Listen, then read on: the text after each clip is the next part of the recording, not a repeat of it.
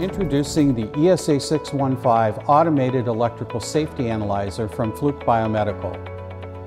This electrical safety analyzer includes a newly designed, very ergonomic carrying handle, as well as easy to use tilt stand.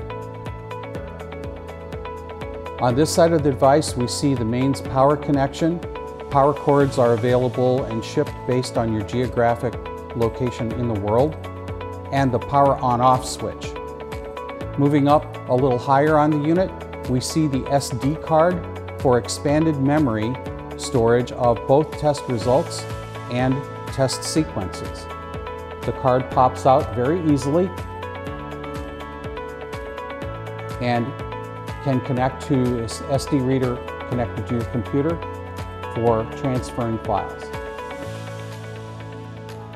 Rotating around to the front, we see the connections for your test probes and the null pin for zeroing our test leads.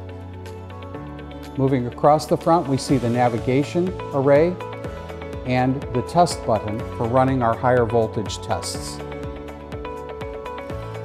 Rotating around a little bit more, we see our equipment outlet for connecting the device under test. The outlet that you see here is for the United States. There are other outlets depending on your geographic location in the world.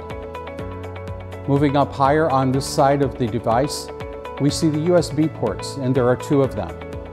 The mini USB port is for connecting the ESA 615 to your computer, for instance, running the Ansur test automation software, or the Ansur Mini plugin for the ESA 615.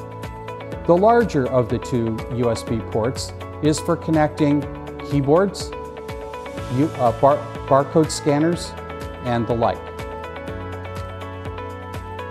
Across the top, we see the applied part posts for connecting things like ECG leads and other applied parts that connect to the patient.